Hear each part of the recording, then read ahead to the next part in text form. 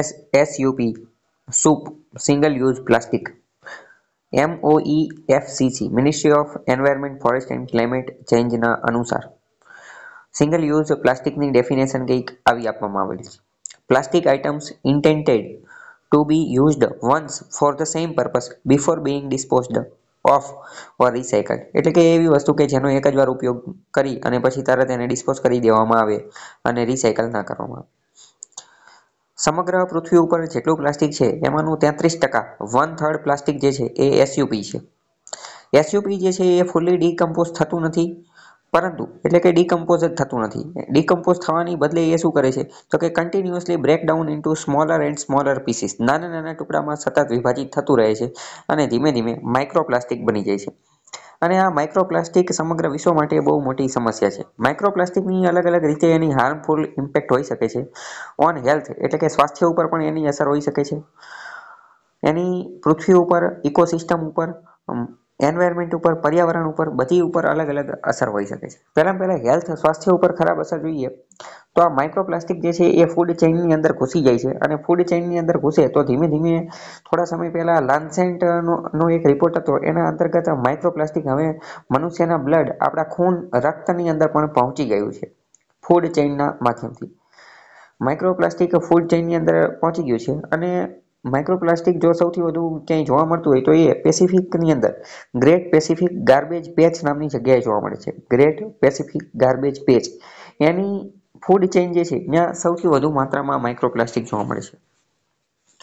Biological ફંક્શનની વાત કરીએ, તો injection of my microplastics injection એટલે અંદર દાખલ થવું.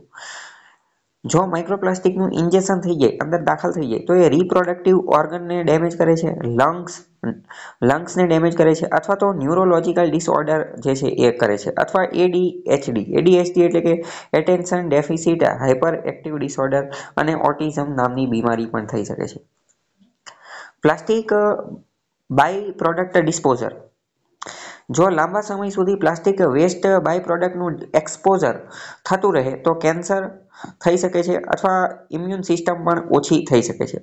અથવા કોન્જેનિયલ ઇમ્પેરમેન્ટ થઈ શકે છે. પર્યાવરણ ઉપર આ માઇક્રોપ્લાસ્ટિક અથવા એસયુપીની શું છે અસર એ જોઈએ.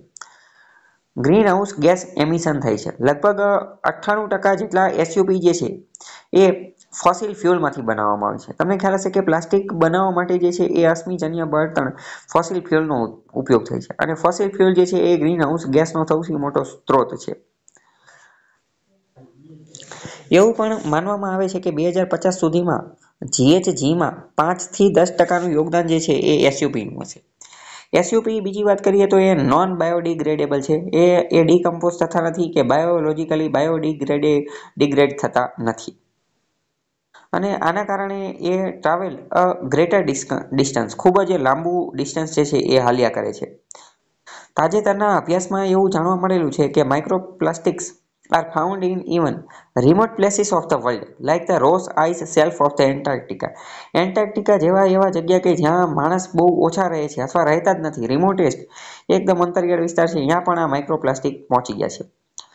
માઇક્રોપ્લાસ્ટિક બીજું શું કરે છે? તો આખી આખી મરીન ઇકોસિસ્ટમને પણ ડેમેજ કરે છે. ધીમે ધીમે કારણ કે સમુદ્ર કિનારે જ્યાં ત્યાં પ્લાસ્ટિક પાણીની બોટલને એ બધું નાખી દીધેલું હોય છે. આ બોટલને પ્લાસ્ટિકને એ બધું જે છે એ સમુદ્રી જીવો મરીન ઓર્ગેનિઝમ્સ ખાય છે એટલે ધીમે ધીમે મરીન ફૂડ વેબ અને મરીન ફૂડ ચેઇનની અંદર પણ ઘૂસી ગયું છે.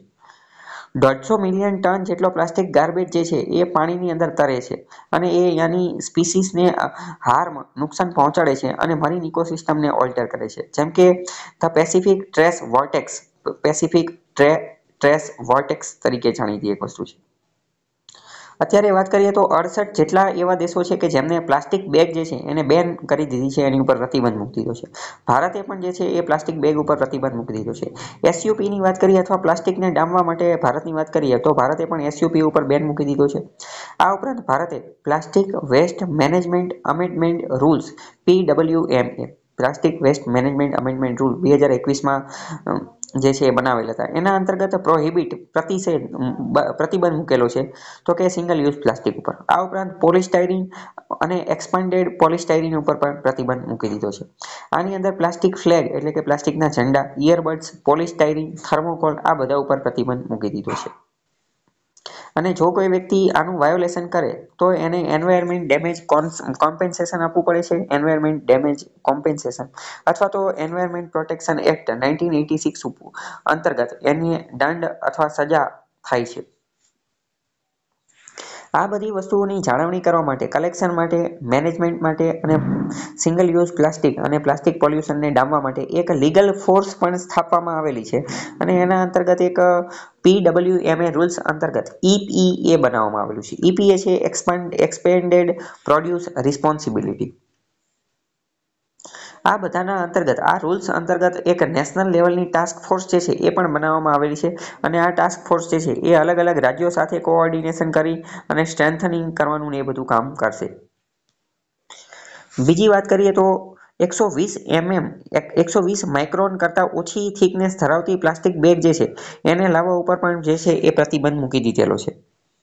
બીજી વાત કરીએ કે તો બ્યુરો ઓફ ઇન્ડિયન સ્ટાન્ડર્ડ દ્વારા બાયોડિગ્રેડેબલ પ્લાસ્ટિકના અલગ અલગ સ્ટાન્ડર્ડ ગાઈડલાઇન્સ ધારાધોરણો નક્કી કરવામાં આવેલા છે. પછી અવેરનેસ કેમ્પેઇન ચલાવવામાં આવેલી છે સિંગલ યુઝ પ્લાસ્ટિકની વિરોધમાં. પ્લાસ્ટિક ચેલેન્જ હેકાથોન જે છે એનું પણ આયોજન કરવામાં આવેલું હતું. તો અલગ અલગ વસ્તુ આવે છે સિંગલ યુઝ પ્લાસ્ટિકના સંબંધિત.